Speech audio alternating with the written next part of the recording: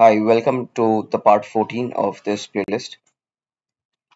So we are looking at AWS Certified Developer Associate Real Certification questions. Please do not forget to refer parts 1 to 13 of this playlist. In this part, we will cover questions linked with these topics. Please hit the subscribe and the like button that helps me understand the pulse of the audience. More subscribes and likes means that I put more contents regularly. Let's move to question 56. There is an application deployed on EC2 and this is this is the application. It uses DynamoDB as a backend and this application is sending REST API calls to this database and an error happens here this orange line here. This is where the error happens. And what is the error? They get provision throughput exceed error. And when do they get it? They get it during writes. That is when this application writes to this database then they get it. So there are five options we need to choose two so let's start from bottom. E says to have two db2 or dynamodb instances. Use one for read and one for write. So dynamodb is a NoSQL database and it is expensive because it provides single digit millisecond performance at scale. Anything that provides single digit millisecond performance it is like Ferrari and Ferrari is expensive. So if one Ferrari has issues it does not mean you will buy two Ferraris because it is that expensive. You will fix the Ferrari you have. With that logic, since it is not a cost effective logic, I would mark this answer or this option as wrong. Now, option D suggests to use DynamoDB DAX. So it is a cache kind of thing in memory cache so cache helps you only with read operations. Are we talking reads in this question? No, we are talking writes in this question. So for writes, DAX will not be helpful. So we will strike this out. So option C suggests that I will fix both read and write.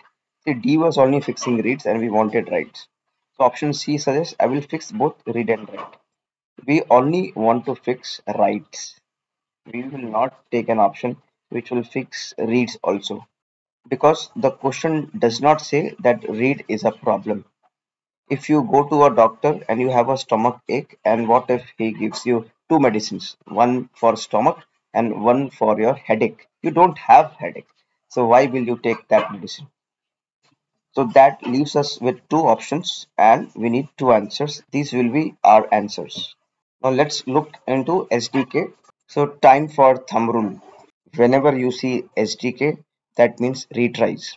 SDK is built so that if it fails once, that means if this application sends writes to this database, if it fails, it will retry. In the microservice world, we have to put retries. So SDK is good at that. Second thing is the retries happens every say 5 seconds. Time for another thumb rule. Exponential backoff equals try after some time. Like I told, SDK retries every 5 seconds. Again and again you are getting error. So have some patience, do yoga and come back after 15 seconds. So it may happen that request may work. So first you will try these options then you will think of so buying another ferrari. You will fix the ferrari first. So these two are the final answers. Let's look at this question. So this question says like you have a custom library and you want to include in aws lambda. You got four options here. So we are talking about libraries and not blueprints so this is wrong so primarily Blueprints, it contains portfolios of tested and validated services and third-party applications. But we are looking for libraries. The B says that you install the library locally and so anything local, I would say it's a no-no. In some places, people say, yeah, this is the right option, and then you upload your zip file and host the library on S3 and reference it in Lambda function. See, Lambda function has its own function runtime. So this will not be required because option D would suffice. So if you see this documentation, which which talks about creating and sharing layers, to pause this video, read this. You can deploy this as a zip file and what is important is you include preferred runtimes and all code dependencies when you create the container image there is something called custom runtime and you can click this and read this so this would be my final answer now let's look at question 58 so you have a legacy service and it has a soap interface. You know what is soap? It is not this bathing soap. It is not this. We are talking about simple object access protocol. This is used in a distributed application elements where one element needs to communicate with other element. It can be you know carried over a variety of standard protocols including HTTP. If I want to communicate to, with you, I will pick the phone and talk. That is a protocol. In mobile phone terminology, that is some protocol through which the communication happens. Same like that, if two applications want to talk, they will use SOAP.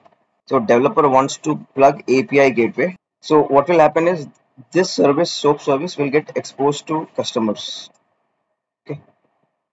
So there are four options and we need to choose which approach will work. So we will go with C and D first. Both are wrong because it's saying to create a SOAP API with API gateway thumb rule time. So REST API equals API gateway. That means C and D are wrong. Now answer has to be between A and B. See B is saying that you use REST API and pass the JSON to SOAP interface through a load balancer.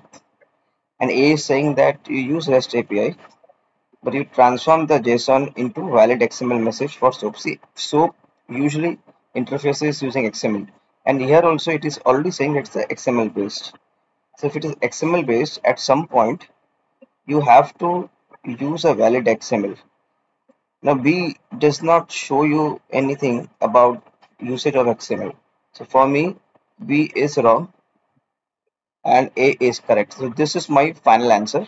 So please hit the subscribe and the like button. It keeps me motivated to put more contents around this. Do not forget to visit parts 1 to 13 in this playlist. All questions are very relevant. This brings us to the end of part 14. We covered questions linked with these topics. See you in the next part.